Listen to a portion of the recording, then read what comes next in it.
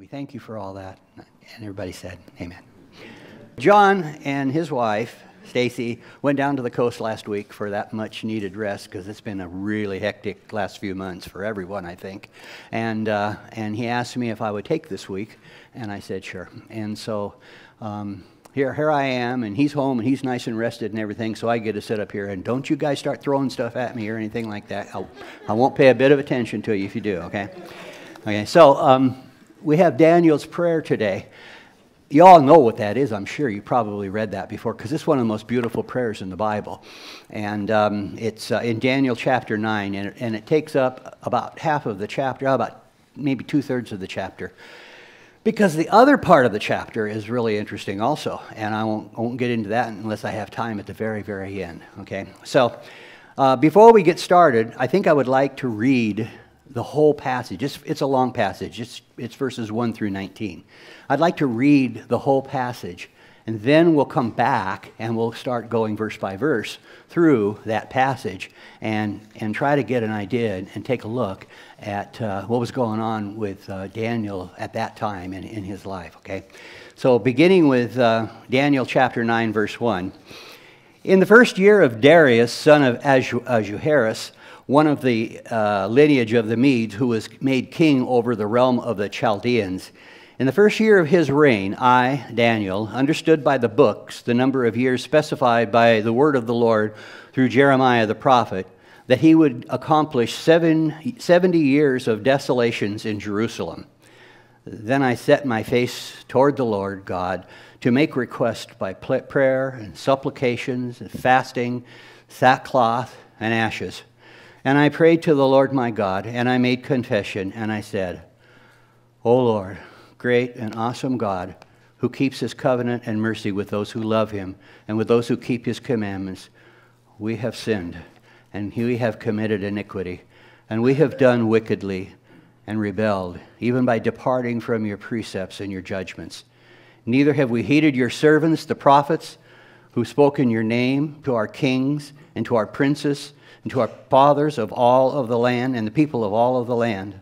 O Lord, righteousness belongs to you, but to us shame of face, as it is this day to the men of Judah, to the inhabitants of Jerusalem and all Israel, those near and those far off, in all of the countries to which you have driven them, because of the unfaithfulness which they have committed against you.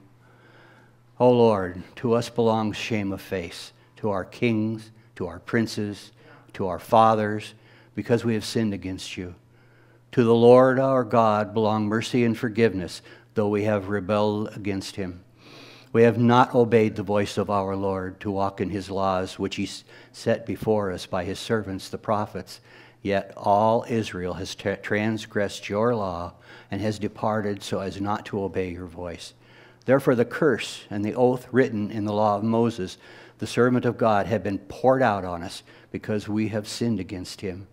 And he has confirmed his words, which he spoke against us and against our judges who judged us, by bringing upon us a great disaster. For under the whole heaven such has never been done, and what, as what has been done to Jerusalem. As it is written in the law of Moses, all this disaster has come upon us, has come upon us, yet we have not made our prayer before the Lord our God, that we might turn from our iniquities and understand your truth. Therefore, the Lord has kept the disaster in mind and brought it upon us, for Lord our God is righteousness in all that he works and that he does, though we have not obeyed his voice. And now, O Lord our God, you have brought your people out of the land of Egypt with a mighty hand, and you made yourself a name as it is this day. We have sinned, and we have done wickedly. O Lord, according to all of your righteousness, I pray, let your anger and your fury, fury be turned away from your city, Jerusalem, your holy mountain, because of our sins and the iniquities of our fathers. Jerusalem and your people are a reproach to all around us. Now, therefore, our God, hear our prayer for your, of your, hear the prayer of your servant and his supplications. For the Lord's sake, because, cause your face to shine on your sanctuary, which is desolate. Oh my God, incline your ear and hear. Open your eyes and see our desolations and the city which is called by your name. For we, for we do not present our supplications before you because of our righteous deeds, but because of your great mercies. O Lord, hear. O Lord, forgive. O Lord, listen and act. Do not delay for your own sake, my God, for your city and for your people who are called by your name. You had to read the whole thing because you just can't read part of that without, to, in order to gain what was in this man's heart. And we all know Daniel. We know the stories. There's lots of stories in Daniel, but there's some also some wonderful, great prophecies in Daniel too. And um, and today, let's just take a look at um, at this prayer and and how and when it came about and why it came about, and see what we can find out. Um, let's start off with Daniel 9, uh, verse 1.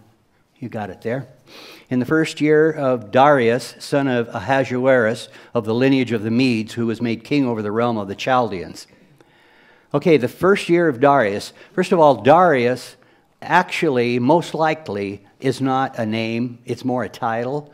There were, there were several um, kings, several rulers that ruled in Babylon and then later from Persia. It was still in Babylon, but it was Persian leaders. And, uh, and there's several of them that, that uh, came to power over the time that the Jews were in exile in Babylon. And we've gone through in history, it's been really fun because a lot of scholars have made a lot of claims about, about who these various leaders were. But it's pretty sure that Darius was most likely um, a, a man named Cyaxares the second of secular history because he, he, ruled at this, about the same time. Uh, Ahasuerus is also called Xerxes. Xerxes, of course, is there were several of them, two, three of them. One of them was the one who was involved with um, Ruth, um, excuse me, Esther, in the book of Esther. Do you remember that? He was the king, Xerxes. And um, uh, the Medes were early Persians living in what is now Iran.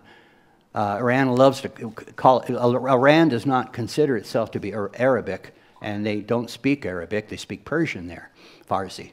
And, um, uh, and to this day, when you talk to a person from Iran, they will always consider themselves to have come from Persia. And the capital of Persia at that time was, was, a, little, was a city, a big city actually, uh, they're, uh, called Susa. And that's where Darius came from. Uh, the Chaldeans were the Babylonians. It's another name for the Babylonians. And um, um, so we start off with the first verse, and, we, and, and Daniel has already given us a, a, a, a timestamp as to what the situation is in, where, in the land that he does live in. So that moves us then to verse 2. And uh, there we go. And um, in the first year of this reign, I, Daniel, understood by the books the number of the years specified by the word of the Lord through Jeremiah the prophet that he would accomplish 70 years in the desolations of Jerusalem. 70 years, okay? It's not hard to figure that out.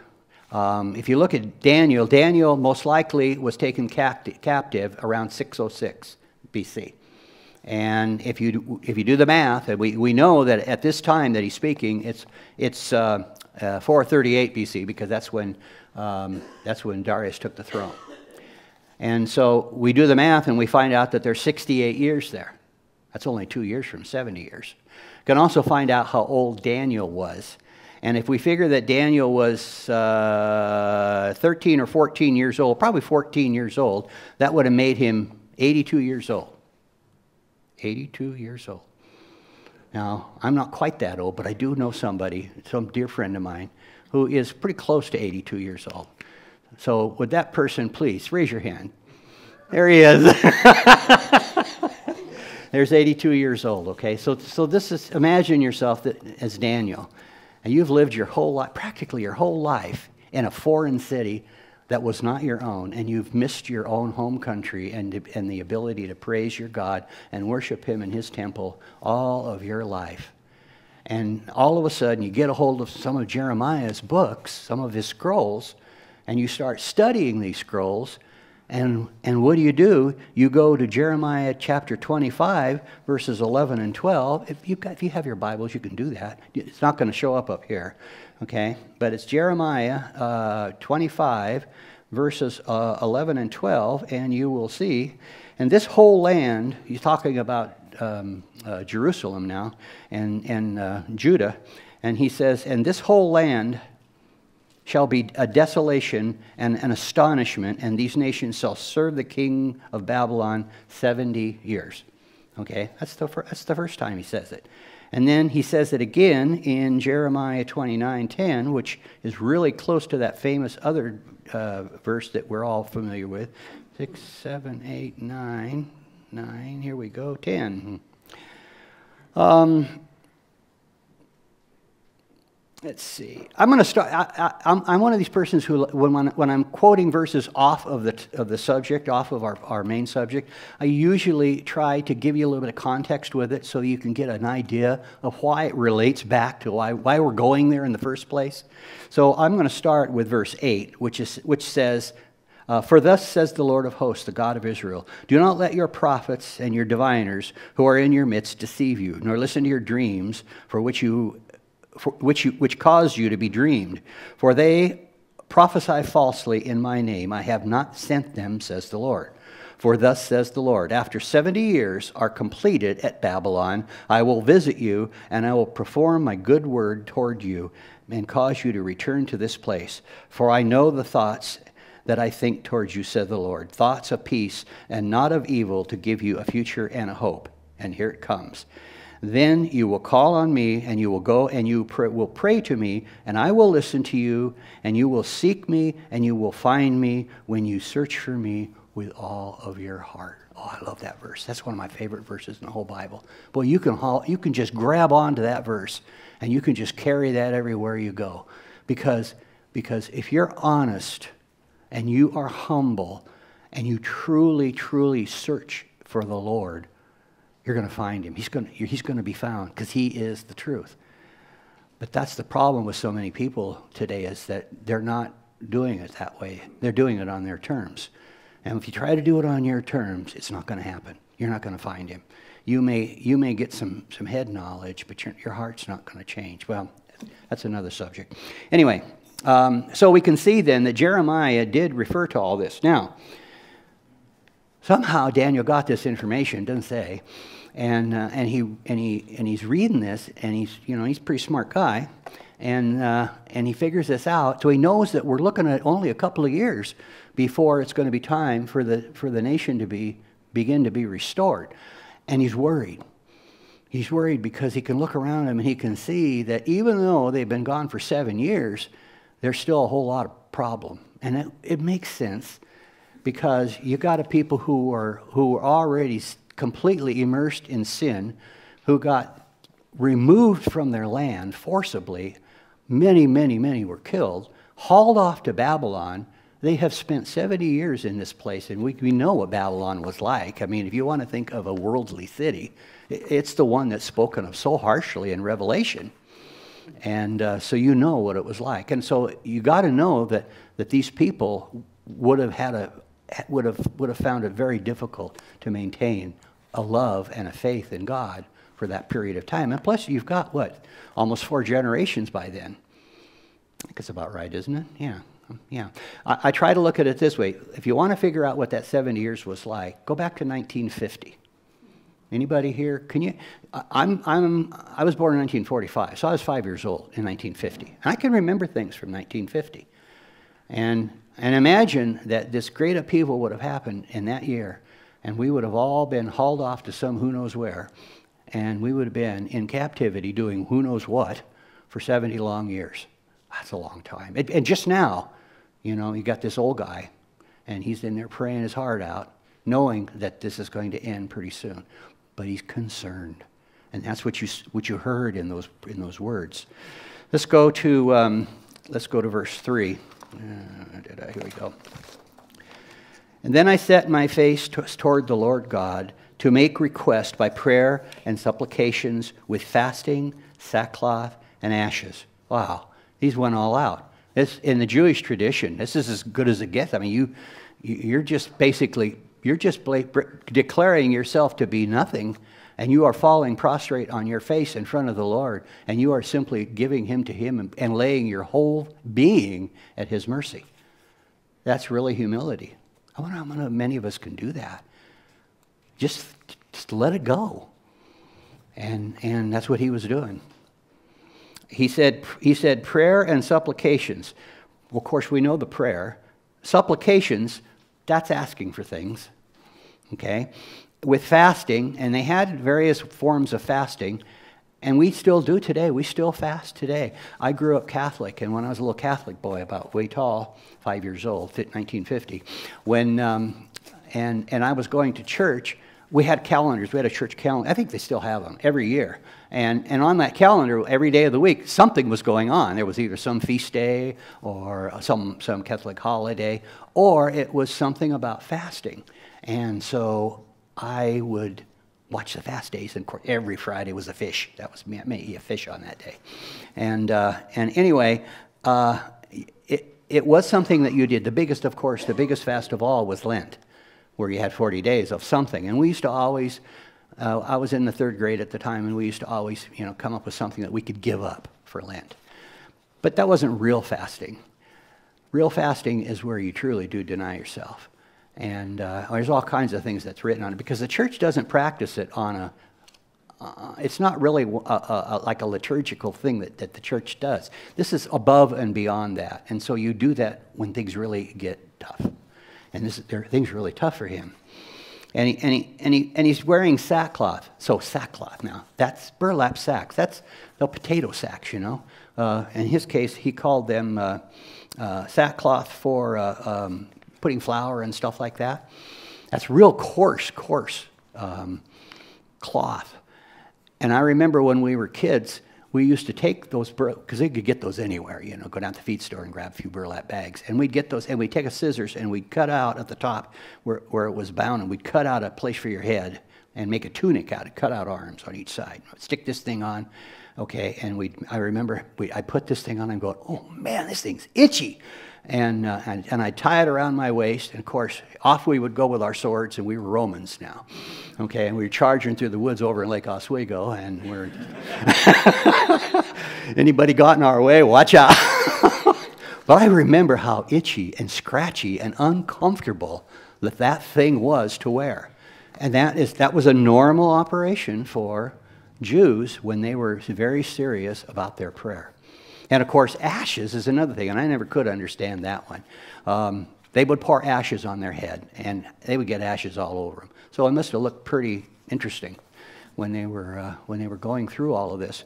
But it was just simply a way to humble yourself completely as best you could to the Lord. You were, you were making yourself a nobody. And that's exactly what you were to Him. Well, you know, it's not right. Um, if you were in sin, you were letting him know that you were laying your sin out there before him, and you were, you were so willing to repent from it. And so um, that's what he did. And let's see, Daniel chapter 4. Got it? There he is. All right. And I prayed to the Lord my God, and he made confession and said, O Lord, an awesome God who keeps his covenant and mercy with those who love him and with those who keep his commandments that, is that uh, 3 and 4? I think it is, yeah. Who keep his commandments. I won't read that verse. I am because it's part of the same sentence here. We have sinned and committed iniquity. We have done wickedly and rebelled, even by departing from your precepts and your judgments. So now he's speaking out loud, and he's speaking to God directly, our, our great and awesome God who keeps his covenant. He keeps his covenant and mercy on those who love him with those who keep his commandments. And he's telling them, God, we know that you are a, a, loving God and you do these things.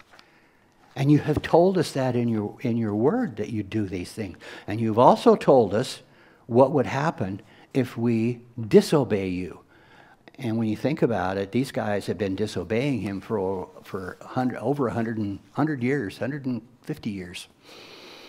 And it's just been one thing after another. That, that reign of Manasseh for 55 years, my goodness, that thing was awful. It was one of the most awful reigns in the whole history of, of, uh, of Israel, of Judah.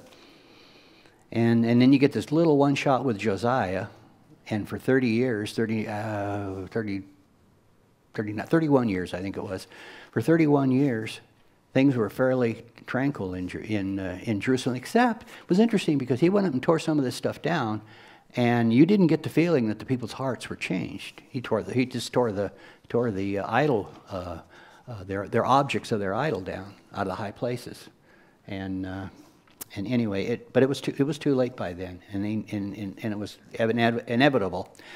Um, one thing, Daniel and Ezekiel and Jeremiah and maybe Josiah at the very, at the very beginning were all contemporaries. They lived it, they, they, they, didn't overlap each other directly, but they were all living roughly at the same time.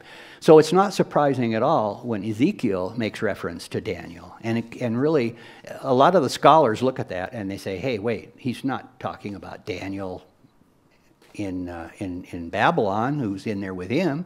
And, and other scholars are saying, well, why not? Daniel had done such great things. Look at those things that he had done for Nebuchadnezzar. And Ezekiel was there, and he would have seen all that.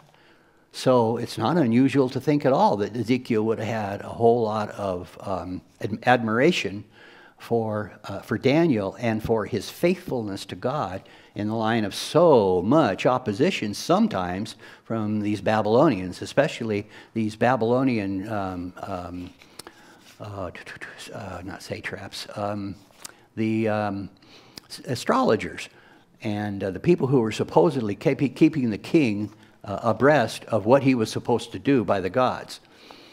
And uh, they, didn't, they didn't work out so well. So Daniel had an awful lot of opposition. That was just from the Babylonians, but he's not praying about that here. He's talking about him, and he's talking about his people.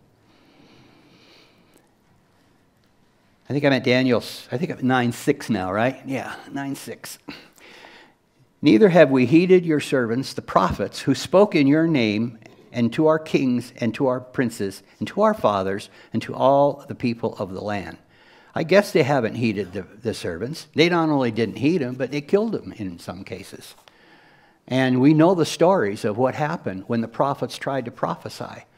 Uh, I think it was Zedekiah, was it Zedekiah who cut they brought, they brought the prophecy to him, and they read it to him, and, and, and, he, would, and he cut it up in, into little shreds, threw it into the brazier, and burned it up. That's what he, that was what he thought of God's word. And then he went to the people who were telling him what his itching ears wanted to hear. And, and of course, that's what he did, and it just got them into more and more trouble because they were sinning so exceedingly. And of course, the prophets, there were many of them who tried to speak to them along the way, and there were many of them that, uh, Jeremiah, my heart goes out to that man. I, I, I have studied Jeremiah for, for many years because I see, uh, personally, I see Jeremiah as being a, a prophet who lived in a time very much like ours, where you live in a culture of people who really don't really want to hear what you have to say at all. And they're not interested in God and they're not interested in you. And when you say things to them and tell them, tell them things that they do not agree with, that come from the Bible, they sometimes get very violent with you. And they did with Jeremiah. Of course, you know the, the story of him getting thrown into the cistern and, and having to spend days in there.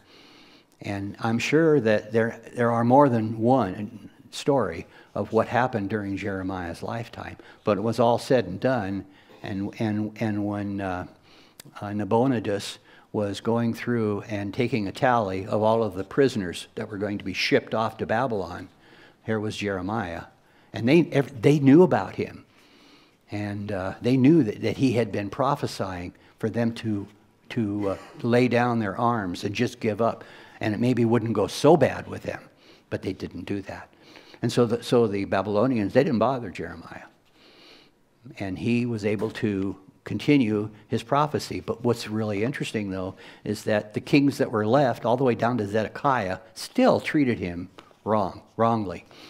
And, uh, and when it was all said and done, here was Jeremiah writing Lamentations. And that is another sad, sad story of a people who are totally, totally broken.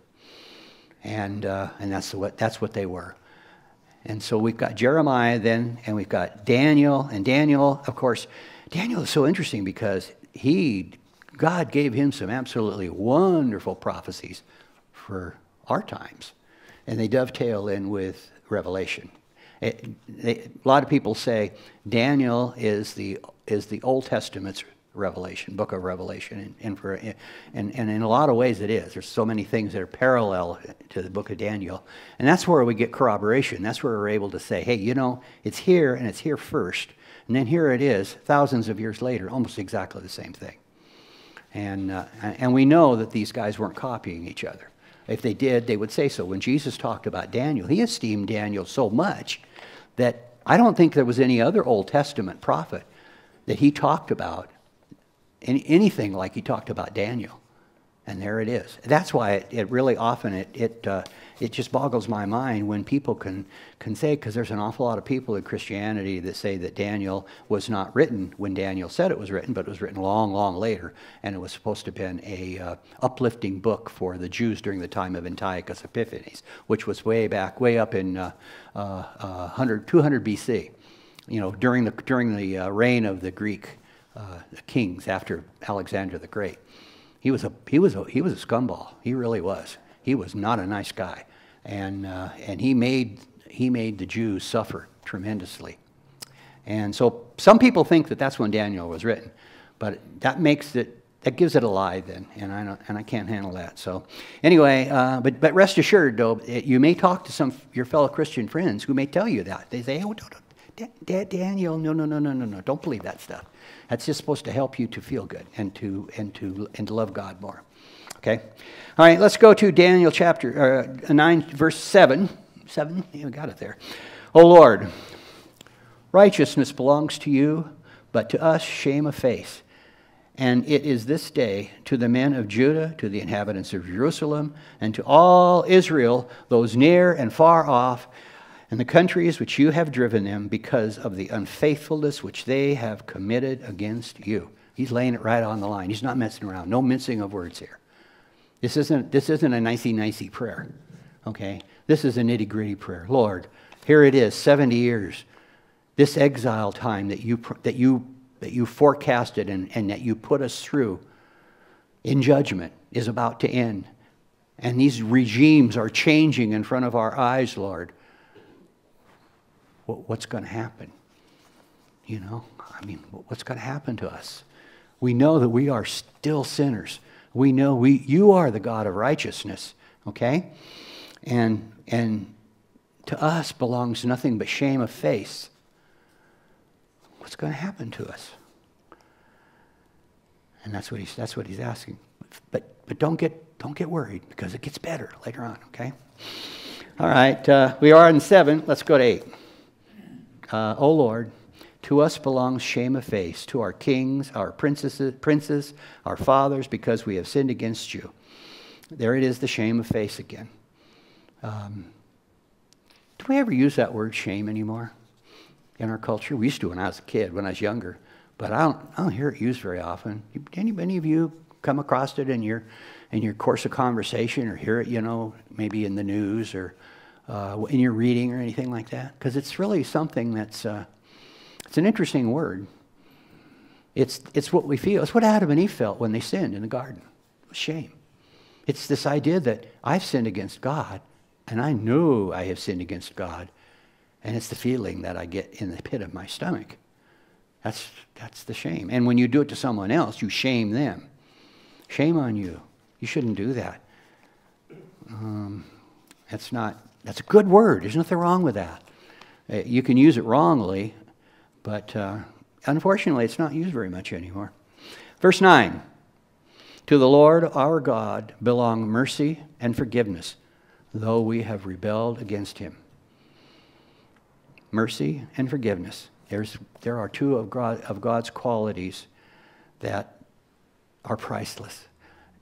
I don't know I don't know of gods in other religions that that have mercy. Now, uh, in Islam, yes, but he, but the God in Islam is a trend, way transcendent God, meaning he's not personal. You can't you can't go talk to him and have a conversation with him at all.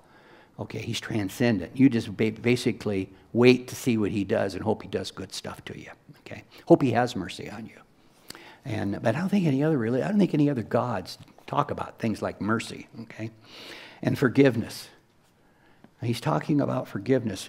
To the Lord our God belong mercy and forgiveness. And he's reminding God that you are a forgiving God, Lord. And boy, and I, he's not saying that right here, but you can just hear him thinking it. Boy, oh boy, do we need forgiveness. And uh, in verse 10, we have not obeyed the voice of the Lord, our God, to walk in his laws, which he set before us by his servants and his prophets. So now he's talking about not only have they sinned, but they have not obeyed. They have not been obedient. And of course, we know that. And of course, we know what all those scriptures in Deuteronomy, especially Deuteronomy, I think it's 28, they all lay out all these blessings that he's going to give them. And it sounds so wonderful. I can just see everybody closing the book up when they get to the end of that passage. Oh, yeah, go for it. Blessings. And then you forget that there's another section comes right after it and it's not pretty. it says, if you don't obey, then you can expect these things to happen. So he's given him a conditional statement. If you, if you obey, great things are going to happen. If you don't obey, it's not going to go so good. And that's exactly what has happened here. Verse 10. Did I do verse 10? Uh, da, da, da, yes, verse 11. Yes. All Israel has transgressed your law and has departed so as not to obey your voice. Where therefore the curse and the oath written in the law of Moses, the servant of God, have been poured out on us because we have sinned against him. Here he is going to the sin again, and he's, t- and he's letting God know as, as clearly as he can that he and his, and his people have sinned against God and his heart is being poured out right now. Transgressed, of course, transgressions are sins, okay? You, uh, you, you, you cross the line. You go over the line and you sin. And, uh, Israel, and has departed so as not to obey your voice. So Israel has gone its way, and God has poured out the very things that he promised. And you know, he just doesn't, he doesn't sit around just wait and say, okay, I can't wait to get him in. Soon as they make a mistake, boy, down it comes. Okay, I'm sending them off to Babylon. No, no, no, no, no, no. There was years and years and years of this stuff that he kept saying over and over again. Of course, all these kings, would you get three, one, three kings? I don't remember how many good kings there were. They were all in Judah. They didn't have a good king in the northern kingdom. And there were three or four of them in, in, uh, in Judah the last one being Josiah. Okay, verse 12. He has confirmed his words, which he spoke against us and against our judges who judged us, by bringing upon us a great disaster. For under the whole of heaven there has never been done what has been done to Jerusalem. That's how serious it was. These people should have been wiped out. I mean, it's amazing to see a people go and, and be completely uprooted, put into a foreign land, spend 70 years there, four generations, three and a half at least, and, uh, and, and then be ready and, and yearning and wanting to go back to their homeland. Why? Because they knew inside, they knew what that place represented. They knew that, that, that Jerusalem and the temple was where God, at one time, his glory rested. And they wanted to go back to that again. And so Daniel here is praying. Whether Daniel ever went back, I don't know. We don't know. It's not, there's no scripture that indicates whether he ever got back or not. I mean, he was 82. He, he, he was, it depends on how old he was when he was taken. And if we, and we, everybody thinks it was, he's pretty young, but people don't think he was much older than 14. Some go as far as 17. Anyway, he could be anywhere between 80 and 85. And, uh, but 82 sounds like a good age. And uh, let's see, verse 13. As it is written in the law of Moses, all of this disaster has come upon us. Yet we have not made our prayer before the Lord our God that we might turn from our iniquities and understand your truth. Lord, we have not turned. We have not made any effort to do anything. Oh, Lord. So you can imagine the situation that Daniel feels like he's in.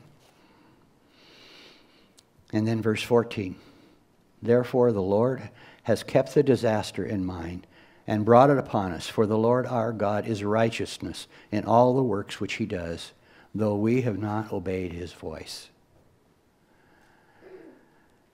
All right, he did it. He sent him there. And we have the book of Lamentations to show of a people completely broken. For the Lord our God is righteous in all the works that he does, though we have not obeyed our voice. He had every right to do what he did because they deserved it. And they made no attempt whatsoever to repent from what they were doing. And, and he, he was so slow to anger. And, he, and we've got all those minor prophets and all the things that those fellows wrote.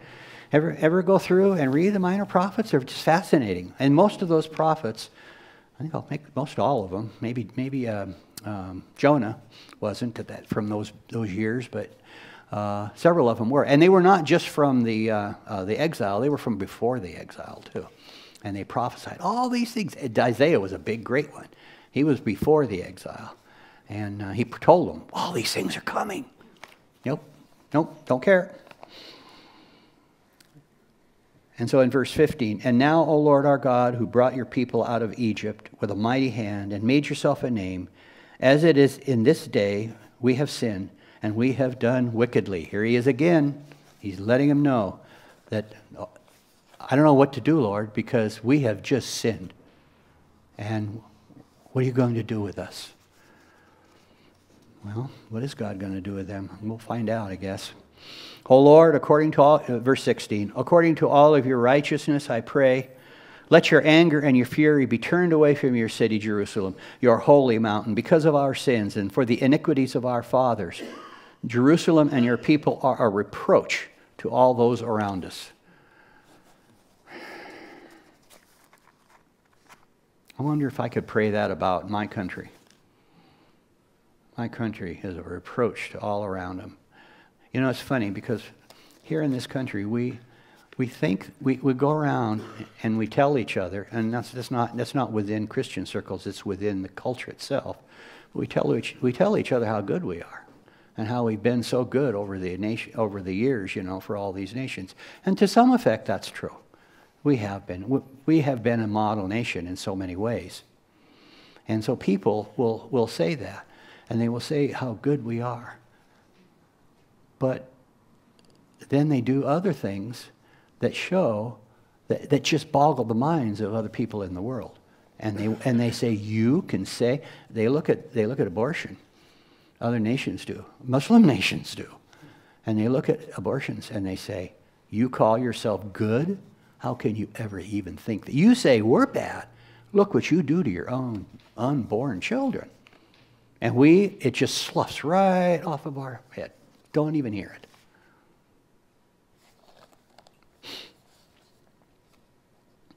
Verse 18 Oh my God, incline your ear and hear. Open your eyes and see our desolations and the city which is called by your name. For we do, not, we do not present our supplications before you because of our righteous deeds, but because of your great mercies. So, Lord, I'm going to be asking you things, Lord. I want you to open your eyes and I want you to, to um, and see this, the desolations of the city called by your name. But it's not because of anything we've done, Lord. It's not because of our righteous deeds. It's because of you, Lord. It's because, uh, because of your great mercies. And that's so, so, so true. Um, the righteousness that we have is, is, is imparted by God to us. We don't have any righteousness. We don't we, we can do things all day long and say feel, and make ourselves feel good about what we're doing.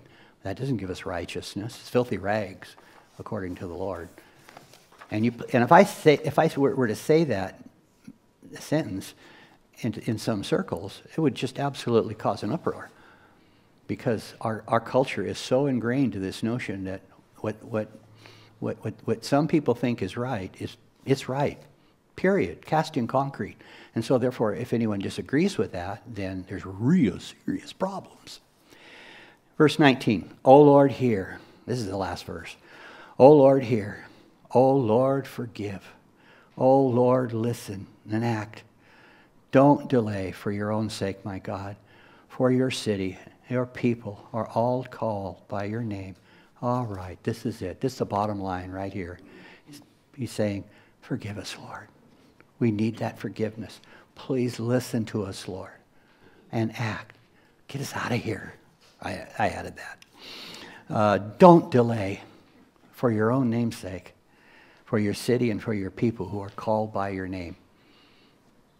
And that's the end of his prayer.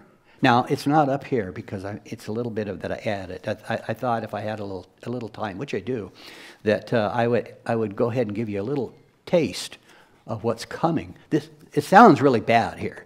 I mean, when, when Daniel's making this prayer, you would think that he is afraid that, that God is going to say, at the end of 70 years, I'm done with you, forget it, you're done, that's it, and walk away.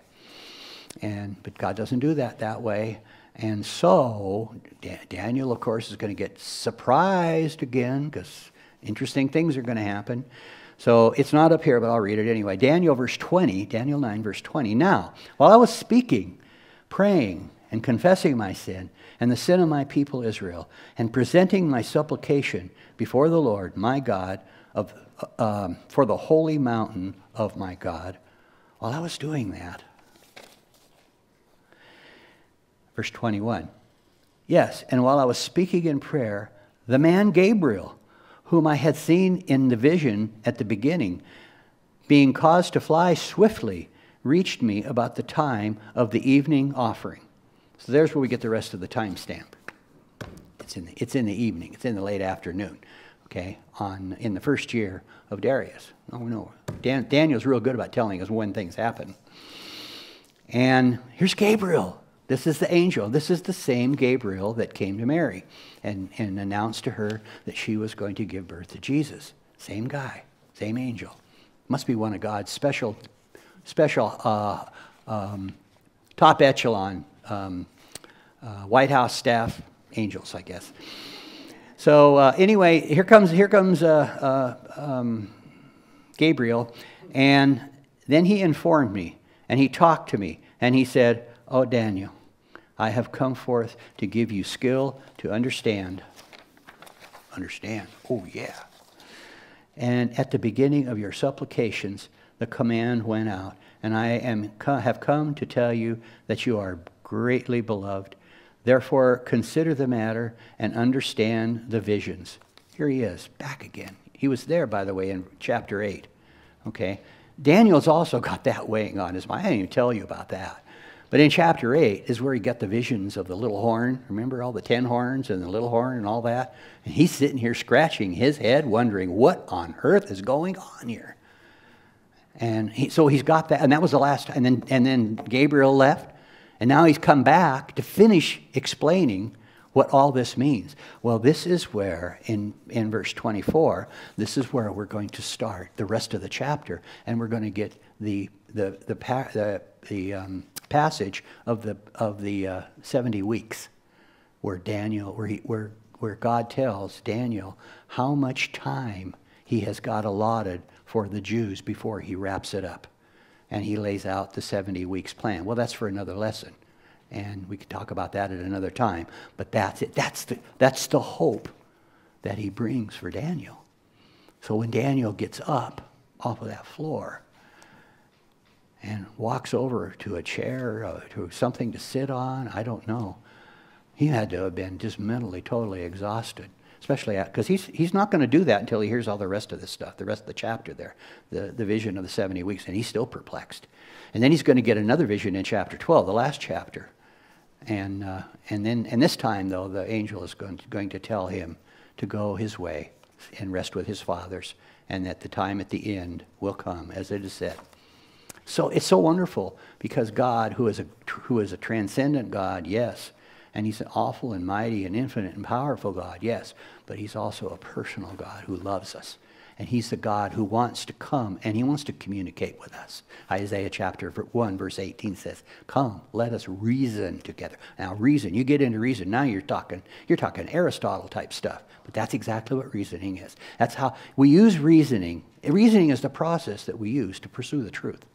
Doesn't mean that it leads us to the truth every time, but that's how we pursue it, because it's how we organize our thoughts and it's how we build one thought upon another thought until the thoughts get more complex. That's what reasoning is all about. Reasoning can be used for evil just as well as it can be used for good.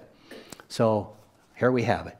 So in closing, all I can say is that I love this guy, Daniel. And I, and I love how he dealt with these Babylonian people and especially these Babylonian leaders. It would have been, it had to have been tough to deal with uh, Nebuchadnezzar because the guy was such a hothead. And, uh, and, and I mean, he was, he was one of these guys who was real passionate about what he did. And he could go off on a tangent real quick, as we saw when he had the dreams and he threw some people in the oven. And, uh, and when he went and got himself so, he went and, broke, started bragging about how he was a god. And he ended up walking around eating grass for, what, seven years during the, his reign. He didn't reign that long. So he was a bad guy. He wasn't a bad guy. He's an interesting guy. A, a lot of people wonder whether or not Nebuchadnezzar will be in the kingdom when we, when we get there. I don't know. Uh, don't know. It's one of those things. We'll just have to wait and see. So anyway, that's pretty much it. So can, can, can I close in prayer then? Father, Lord, here's Daniel.